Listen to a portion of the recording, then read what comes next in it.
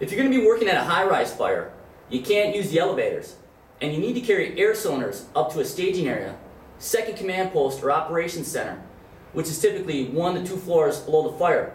You can use your webbing to make the job a lot easier. Now the webbing loop can be configured to carry anywhere from two to four air cylinders. Go ahead and remove your carabiner and clip it to your belt because you're not going to need it. Offset your water knot by about two feet and double the webbing back onto itself.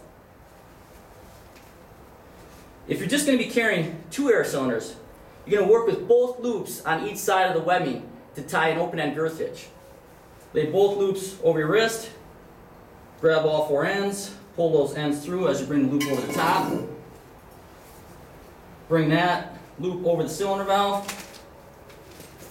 and tension off the webbing. If you're going to be carrying four air cylinders, you're going to work with each loop individually on both sides to tie an open end girth.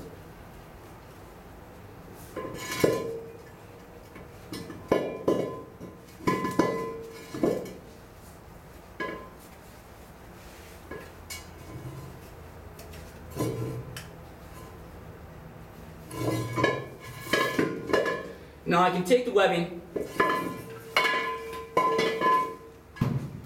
place it on my shoulder or even on an SCBA, which will free up my hands to carry additional equipment or to use the hand railings to make climbing the stairs easier.